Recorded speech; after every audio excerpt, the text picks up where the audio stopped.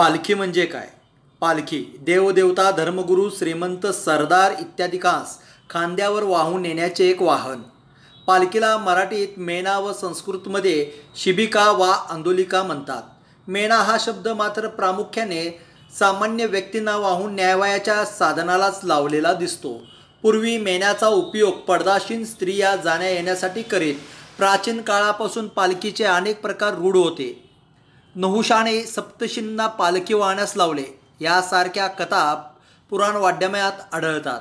अलीकडच्याच काळात देवतांच्या मूर्ती वाहून नेण्यासाठीच मुख्यतः पालखीचा उपयोग करतात.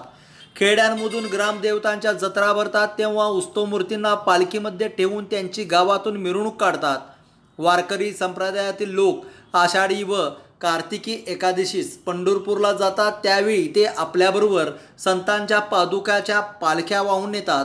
महाराष्ट्र व कर्नाटकात या प्रांतात पांडुरंगांचे अनेक श्रेष्ठ भक्त होऊन गेले. या भक्तांची समाधीस्थळे भिन्न भिन्न ठिकाणी आहेत. या वेगवेगळ्या ठिकाणाहून या संतांच्या पादुका नेऊन पालख्या पंढरपूरला जातात.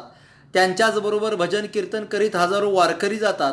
पालखीचा सोहळा हे महाराष्ट्राचे एक वैशिष्ट्य झाले आहे. पालखी ही लाकडाची असते. सामान्यतः तिला मागे व पुढे एक किंवा दोन दांडे असतात.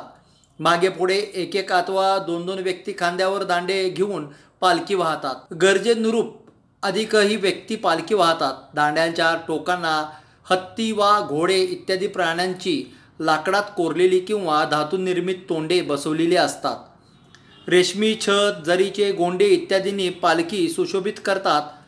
वृद्ध अपंग पायी फार चालू न शकणाऱ्या व्यक्तींना डोंगराळ प्रदेशात वाहून नेण्यासाठी पालखीसारख्या डोलीचा अथवा कावडीचा उपयोग करतात. महाराष्ट्रात भोई लोक पालखी वा मेने वाहून नेत असतात. सबस्क्राईब करा. तिचा जागर न्यूज शेजारी दिलेलं बेल आयकॉन म्हणजे घंटी दाबा. जेणेकरून तुम्हाला आमच्या साऱ्या अपडेट्स येत राहतात